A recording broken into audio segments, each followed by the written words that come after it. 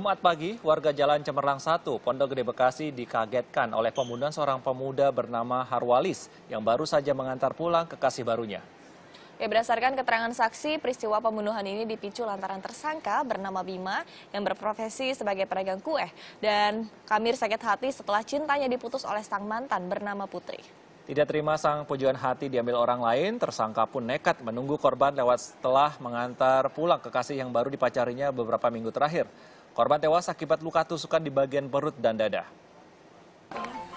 Yang saya lihat ceweknya itu baru pulang diantar sama cowoknya jam 3 pagi.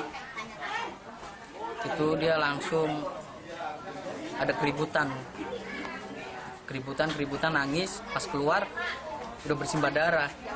Bersimbah darah nggak taunya ya orang tua saya yang ini langsung lang minta tolong ke orang-orang minta pertolongan pas dilihat udah nggak ada nyawanya